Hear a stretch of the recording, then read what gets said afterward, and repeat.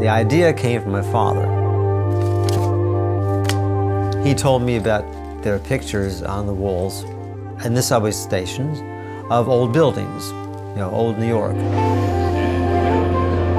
20 years later, after going through everything, school, college, and all that stuff, I thought I would finally give it a look and just see what my father was talking about. It was going to be a short article. I was going to illustrate some stations with some pictures and tell the stories, but it kind of ran away with me.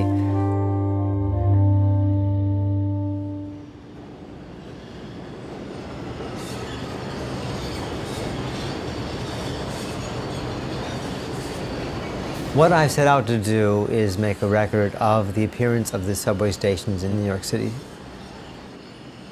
I take drawings of the uh, mosaic or faience designs on the walls which embellish the stations. I devote as much of my time as I can to doing it. Uh, evenings, uh, weekends, vacation time even. You know, it's all, it's a sort of a consuming um, project.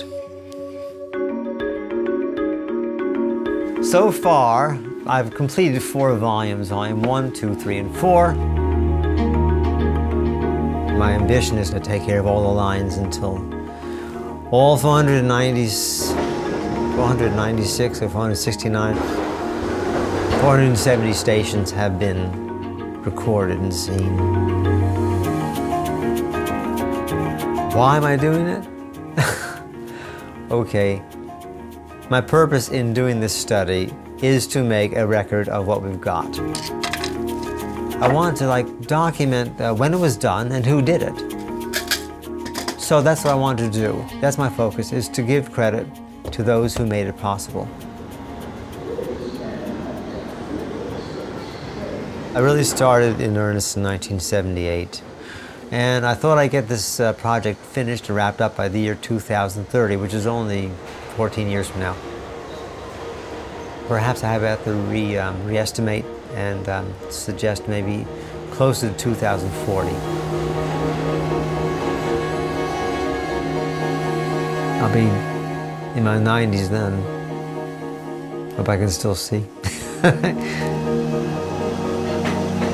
pleasure of doing the job is, um, is payment.